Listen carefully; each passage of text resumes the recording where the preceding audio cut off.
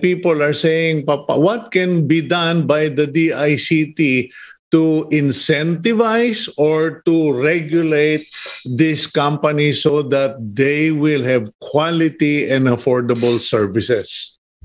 Um, that will be under the jurisdiction of the NTC, the National Telecommunications uh, Commission, mm-hmm. although it's an attached agency of the DICT. Yes. So we need to we need to uh, work with them and see what's keeping them from being able to deliver quality service at a lower cost.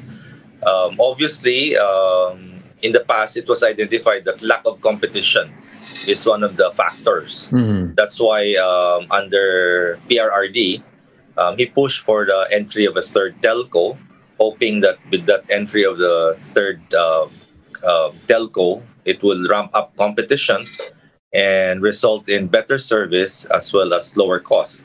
And I think we we've seen it, no, when um, when this third telco came in, uh, we saw that uh, the offerings of the other two telcos um, have actually gone up. Uh, it, they used to just provide 10 Mbps at uh, I think 1,599. Now some of their services already are up to 50 Mbps, and it's still at 1,599.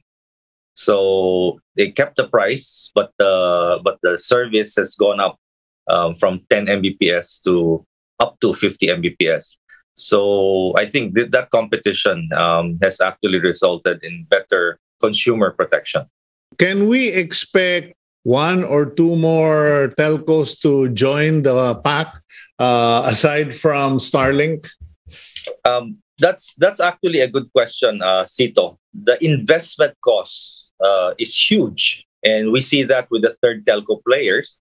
The third telco player, when it came in, with a huge um, purse, and yet it is struggling mm. in in its implementation.